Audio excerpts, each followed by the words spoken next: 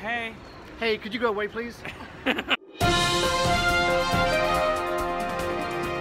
Hi, Andrew Andrew in front of the Manhattan Theatre Club, about to see Our mother's brief affair. Andrew, why is this the perfect Broadway show? Well, because think about the Broadway audience. You got your young gays and you got your women of a certain age that just want to go see some theater. and these women of a certain age want to remember the past affairs that they had. They- Basically, the story is a mother. I believe she's about to die, so she makes oh some. shit! So she makes. I feel bad now about making that crack about old ladies. she admits to having an affair in the past, and all things unravel, and who knows where it Oh. lands. It's written by Richard Greenberg, who also wrote The Assembled Parties. Yeah, he's a real family dynamic kind of writer. Very New York. Very Upper West Side, very Upper East Side, very like oh the apartment market. Same director as The Assembled Parties. I'm looking at something maybe Assembled Parties Part 2. We'll see an intermission of, Our mother's affair with the briefs. yes, at the Manhattan Theater Our mother Club. pulled down his briefs.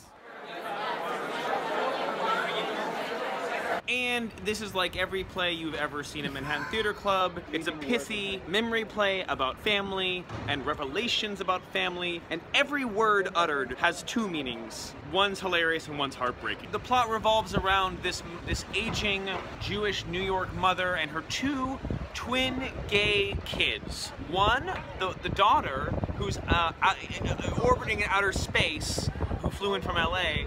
The other, the son, who's so down to earth he's practically six feet under. This is really the Linda Lavin show. When she's not giving lines, I want her to be featured. Yeah, you're looking over to where she's quietly resting to the side, wondering if she'll just wake up and say something funny. The Yiddish quotient is right on point here, just enough to make it New Yorky for out of towners, and uh, just Jewish enough for those of us who live here.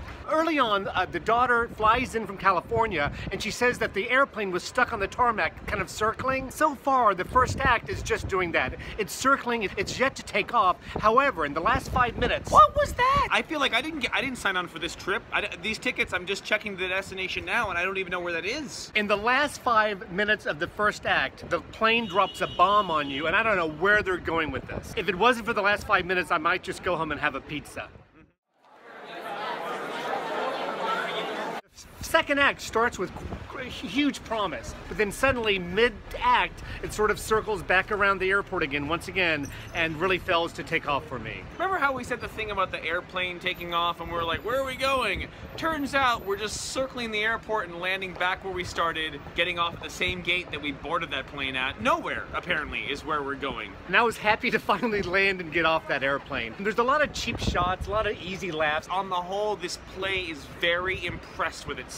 Linda Lavin's portrayal of a woman perpetually on her deathbed is spot on. She gives you these eyes that say so much more than what Greenberg has put on the page. Exactly. Linda Lavin, round of applause for you, madam. Greenberg, you could have tried a little bit harder. I don't know. I just never really was invested in the characters. If it wasn't for Linda Lavin, I would give this a red light. but- Absolutely. But, because Miss Lavin is involved in the show, I'd have to say a yellow light. Involved in the show, she is the show. she is the show. a Like, yellow light for me as well. I would have more than a brief affair with Miss Lavin. I would I would lavish Miss Lavin with lovin'.